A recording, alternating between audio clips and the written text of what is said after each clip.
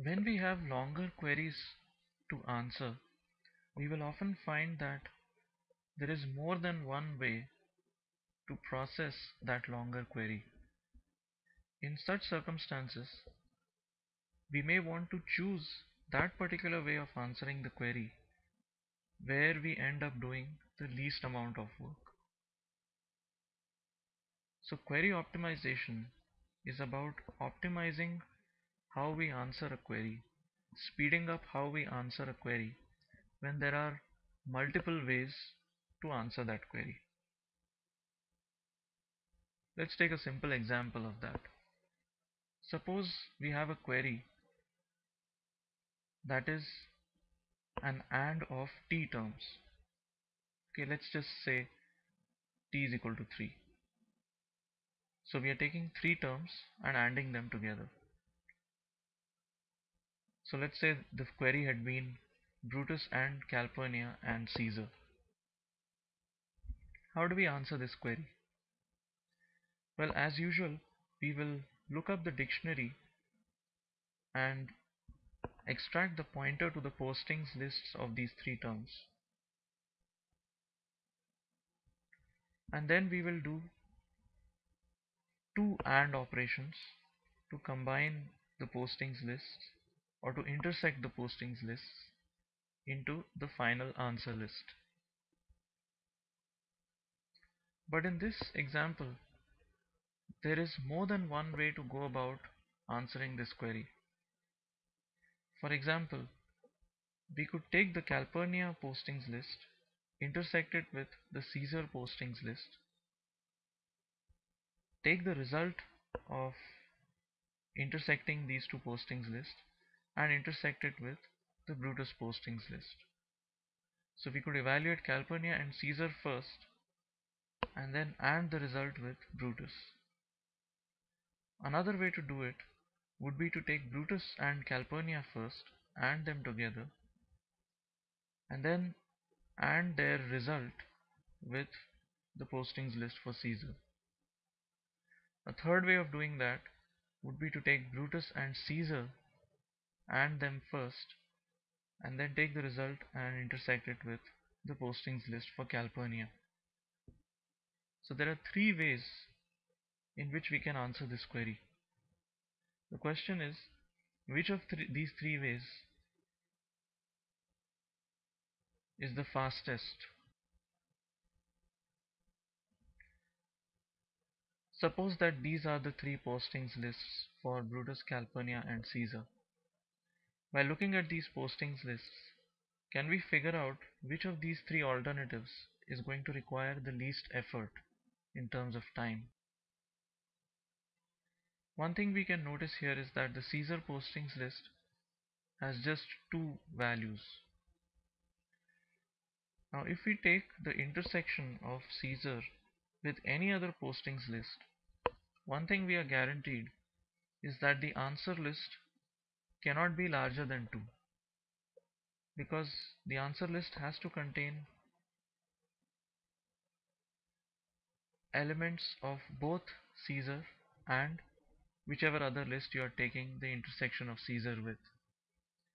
But because Caesar has only two elements, the answer list cannot be any larger than 2.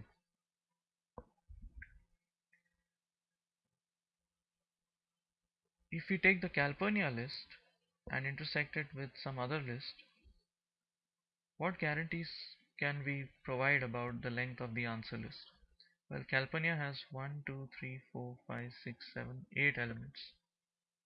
So we can say that the answer list will have a size less than or equal to 8. But if the answer list, if, if in one scenario the answer list has a size of 8 and in the other case it has a size of 2 and if that answer list is going to serve as an intermediate list in the processing of a larger query then when we take the intersection of that answer list with some other postings list we may end up doing more work with the answer list that is larger. What I mean here is suppose we calculate Brutus and Caesar first I know that the length of the postings list of the answer is going to be less than or equal to 2 because the Caesar list has a length of 2. On the other hand, if I take Brutus and Calpurnia first, I know that the length of the answer will be bounded from above. So the length of the answer here will be less than or equal to the smaller of the two. So 1, 2, 3, 4, 5, 6, 7. This list is the smaller of the two. So we can say that the answer list will have a length of less than or equal to 7.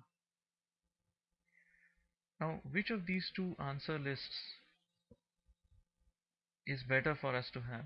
Do we want a list of length 7 for the second step or do we want a list of length 2 for the second step? Well clearly if we had a list of length 2 that would probably be more favorable in terms of time because when we intersect this list with the other list we can hope to complete that operation in a smaller amount of time because the amount of time required to intersect two lists is proportional to the sum of their lengths. And because the length of this list is going to be smaller we shall hopefully end up taking less time via this route as opposed to this route.